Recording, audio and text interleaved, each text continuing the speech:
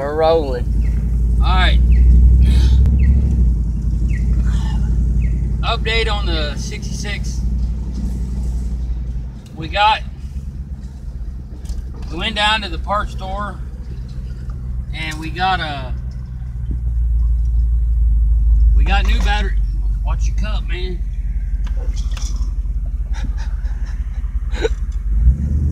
we got new battery cables a new ground cable, new hot cable, hooked it up, found the remote starter switch, which was up in the garage, hooked it up to the hot, run it down to the solenoid post on the starter.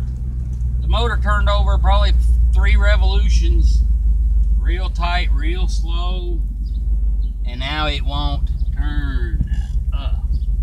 So, we drained a oil pan I just wanted to bump the motor over to get it on top dead center and to see if the starter worked and it would turn over at all. We drained the oil pan and we got probably three quarts of water out of it and that was it.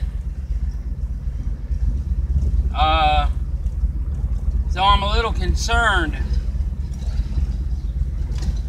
I'm just a little concerned. Uh, I'm concerned that uh, I hope the innards not locked up, like the bearings and the cam and stuff. If I can get the oil down the cylinders, maybe I can get the motor to turn over and free back up. There was no oil in that motor whatsoever, which I should have checked that before. I did, there's Daisy, hey fucker. Uh, yeah, fucking idiots. yeah.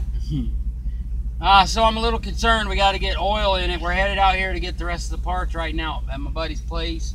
Uh, we need to get the oil in the filter and put new oil, new oil filter on in the block, in the oil pan.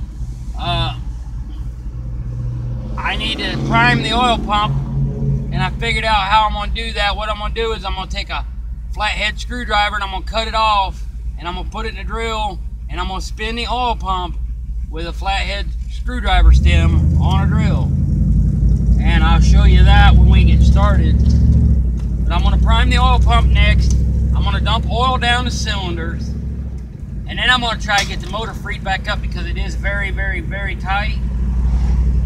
And uh, yeah. So, I guess that's it for now. I'll get back to you when we're uh, putting the oil in and getting ready to prime up the oil pump.